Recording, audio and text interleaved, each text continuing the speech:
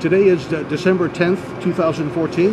We're with uh, Rob Dewar, uh, head of the C Series program at Bombardier, to uh, get an update on the status. Uh, Rob, uh, 2014 was a year of challenges and progress for the C Series. From an external standpoint, we perceive the, the major issues in a, in a certification program to be wing bending, getting the engine tested in shape, flutter tests, and the fly-by-wire software. It seems that you're uh, making great progress on each of those. Is it all downhill from, from here? And can you tell us about the results of those tests so far? Yeah, sure, Ernie. So, uh, yeah, those are good points. So, you know, in the program, there is um, a lot of challenge. Of course, the uh, a lot of technology in the aircraft. Um, so, right now, you know, to be honest, I'm pretty uh, comfortable where we are. We've gone through, uh, I'd say, the majority of the critical and risk areas have now been completed. Uh, so, a couple of points you mentioned really the um, you know the static testing for the aircraft overall is now completed, and of course the most critical test for that is with the uh, wing.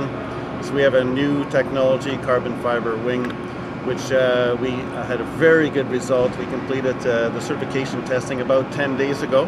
So a lot of people are breathing a lot easier now that that's behind us. And uh, what's great too in the results, we see some uh, some margin in the wing test, so uh, very satisfied. On the other points of the program, basically uh, we've completed the majority of flutter testing. Those are also good as well. Those are always risk tests to, uh, to get through. And uh, the other risk that we talked about quite a bit was on the fly-by-wire, uh, the software, and uh, we're flying now daily, in some cases uh, two or three times per day per aircraft in normal mode, so that's the final software load for that.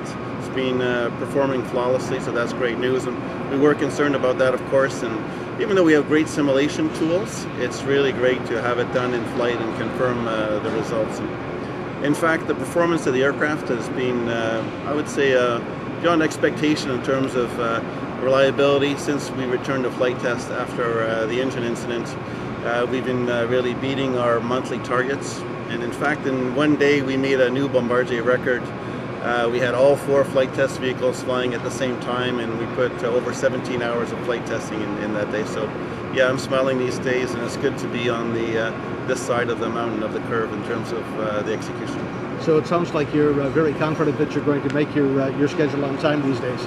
Well, I'm feeling a lot more comfortable, to be honest, and it really helps building confidence when the high risk tests get through successfully and uh, the results we have in the last few months really help everyone to build. So everyone's feeling a lot more comfortable, and uh, we're just focused now on uh, executing the program and uh, getting ready for the entry into service. You've got about 650 hours in flight test already, about a quarter of the way through the uh, the planned program.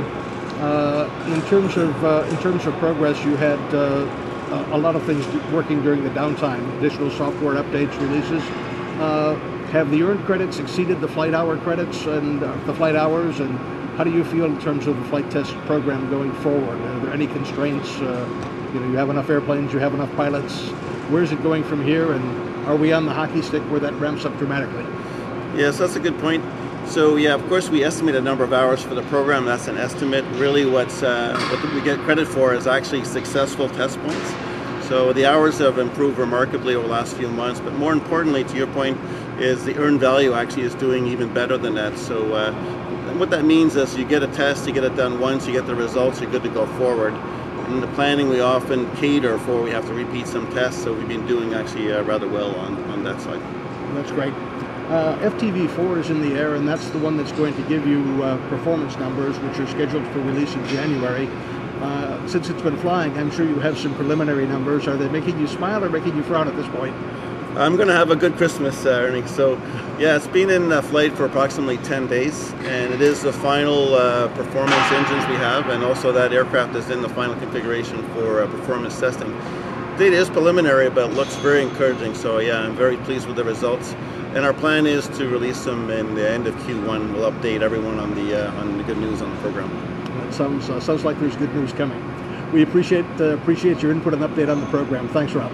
Hey, thanks, Ernie. Thanks for the time. Thank you.